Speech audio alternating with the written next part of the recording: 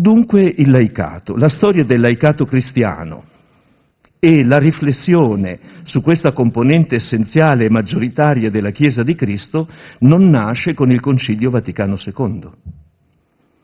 Basterebbe pensare alla schiera dei martiri dei primi secoli, non mi pare che fossero frati e suore, eh? la maggioranza di loro erano laici, c'erano papi, vescovi, sacerdoti, diaconi, ma una schiera infinita di laici.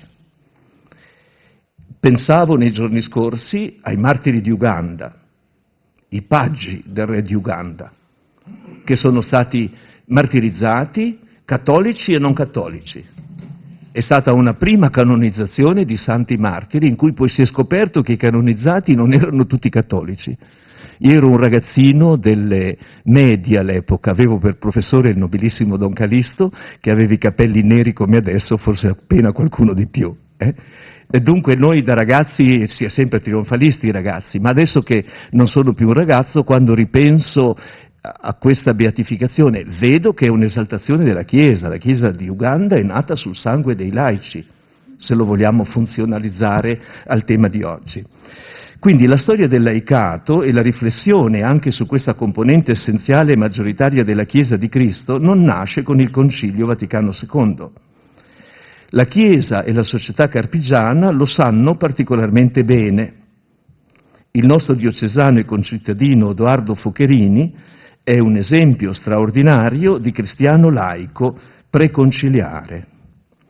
21 anni prima della fine del Concilio, a meno di vent'anni dall'inizio del Concilio, il nostro carissimo Odoardo Focherini ha raggiunto il culmine del suo martirio nell'infermeria del campo di concentramento di Erzbruck. Era il 27 dicembre del 1944. L'8 dicembre del 65, vedete che non ci sono 21 anni appena, neanche 21 anni interi, si chiudeva il Vaticano II. La chiesa di Carpi ha conosciuto già da secoli il dono di un beato e poi di un santo nella figura di un religioso nato in questa città. Si tratta, come sappiamo bene, del gesuita carpigiano San Bernardino Realino, che fu tra i primi seguaci di Sant'Ignazio di Loyola. In questo nostro tempo la stessa Chiesa, che ha avuto come grande patrono dalla fine del Cinquecento fino ad oggi la grande figura di Bernardino Realino, sta per ricevere un dono straordinario del riconoscimento della santità, anche se nel grado iniziale di beato, però di santità si tratta, per un nostro cristiano laico, il martire Edoardo Focherini, che ha vissuto tra noi e che si è formato in questa piccola e grande chiesa. Metterli insieme e conoscere un po' l'annuario pontificio, il panorama delle diocesi italiane è certamente un grande orgoglio.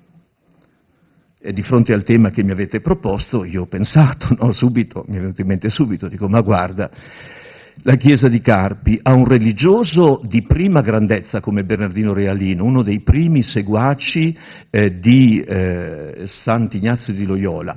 La sua vita è stato anche sindaco, si potrebbe evolvere, elaborare come laico, eh, da giovane è stato un laico. Ma il grosso della sua vita, è vissuto oltre 80 anni, è stata da religioso nella città di Lecce, dove ha avuto un rilievo grandissimo, vivente fu proclamato vivente patrono di quella città, gli portarono le chiavi della città perché lo, la custodisse. Ecco, noi oggi assistiamo, ed è un fenomeno prima del concilio, quindi voi capite il mio imbarazzo, mentre mi facevo la barba dicevo, ma tu cosa vai a Carpi a dire? La novità del concilio Vaticano II sui laici, quando Carpi aveva già da vent'anni un laico della statura di Edoardo Fucherini. Ma cosa vai a fare? Cosa gli dici? È un po' di panna montata, qualcosa del genere. Stiamo allora un attimo eh, su questa figura di laico e martire. Lui è tutte e due le cose.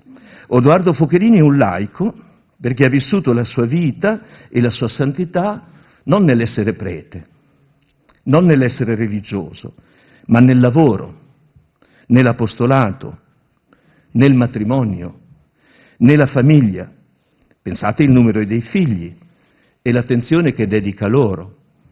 Pensate per esempio il tema della prima comunione di Rodolfo nelle lettere dal carcere, uno dei temi più eh, trattato robustamente. Aveva altro a cui pensare, ma di continuo si preoccupava che il bambino non facesse la prima comunione nella mestizia del padre lontano.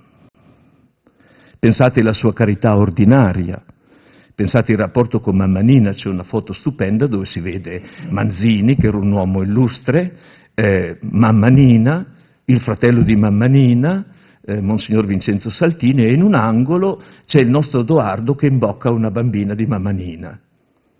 Questa è quella che io chiamo la carità ordinaria. E anche ha vissuto la carità fuori dall'ordinario. Ha avuto compassione, senza fare rumore, della persecuzione degli ebrei. Indipendentemente da come sia andata a finire la storia, quello che ho elencato adesso è materia di santità di un laico.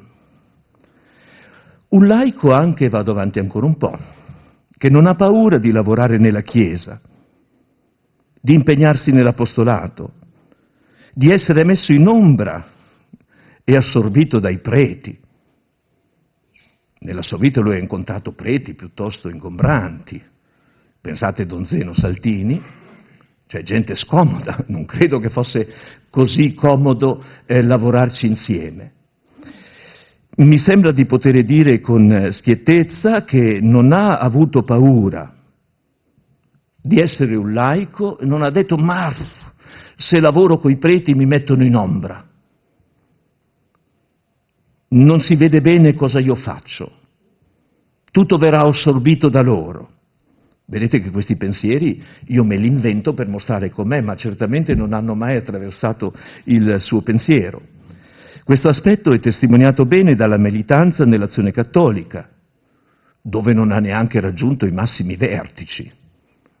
Ha sempre militato eh, da caporal maggiore, non, non molto oltre, no? Pensate all'amicizia e all'affetto per tanti laici impegnati, il fidato collaboratore Sacchetti, il direttore dell'Avvenire d'Italia bolognese, il dottor Raimondo Manzini, il deportato, beato come lui, Teresio Olivelli, che lo assistette nella morte. Teresio Olivelli è il testimone eh, diretto eh, della morte di Odoardo. Nella stessa linea va la collaborazione con il sacerdote diocesano Don Dante Sala per la messa in salvo degli ebrei. Dunque un laico, lo dico, qui siamo in un, in un contesto familiare, che non aveva, era bravo, ma non aveva la puzza sotto il naso, che non aiuta i preti la puzza sotto il naso, ma non aiuta neanche i laici. Odoardo Focherini però non è stato solo questo, è stato laico ed è stato martire. Ha avuto il coraggio di accettare di essere un grande martire. Non ha cercato il martirio, All'inizio della prigionia ha sperato di poter tornare alla sua casa. Eh, chi legga le sue lettere dal carcere vede che i primi eh, giorni, le prime settimane è affannato perché capisce che il tempo è proprio breve, è affannato di cercare appoggi, probabilmente persino si è fatto ingannare da un, eh, da un altro personaggio ambiguo presente nella eh, prigione che gli prometteva aiuti, sostegni, eccetera. Non ha cercato il martirio All'inizio della prigionia ha sperato di poter tornare alla sua casa, ma quando il Signore gli ha presentato il calice della croce non si è tirato indietro, ma si è consapevolmente offerto.